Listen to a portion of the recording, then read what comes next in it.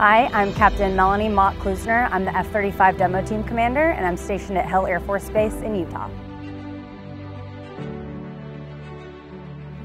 I knew for sure I wanted to serve in the military after being inspired by my military family members. Both my parents, my uncle, and my grandparents all served in the Air Force. To be a pilot specifically, when I was about eight years old, my parents took me to an Air Force Academy football game and I got to see F-16s fly over the stadium, super loud and really fast.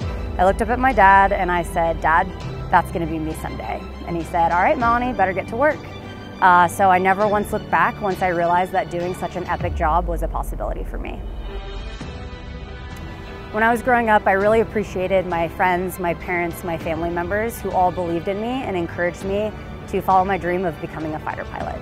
I want to be that person for someone else and I hope to inspire the next generation to do a job that is unlike any other. Being a single seat fighter pilot, you are trusted with so much responsibility. You're flying a really expensive aircraft. You're trusted to be the only one in that cockpit when things go wrong. And having that much responsibility at such a young age is really unique.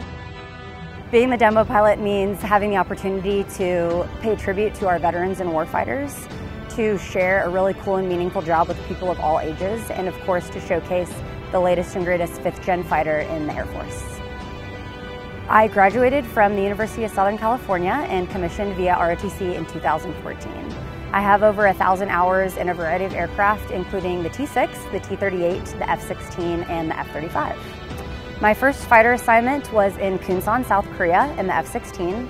From there, I did an intra-service exchange with the Marines and I got to fly the F-35B in Iwakuni, Japan. After that, I went to Luke and became an instructor in the B course, and now I'm stationed at Hill.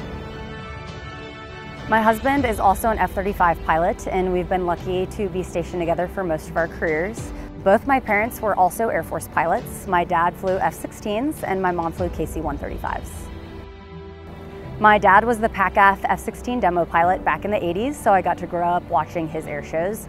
My mom was the first graduating class of women from the Air Force Academy, and she graduated pilot training fighter qualified, but at that time women weren't allowed to fly fighters. She's a huge inspiration to me and she has some incredible stories from her career.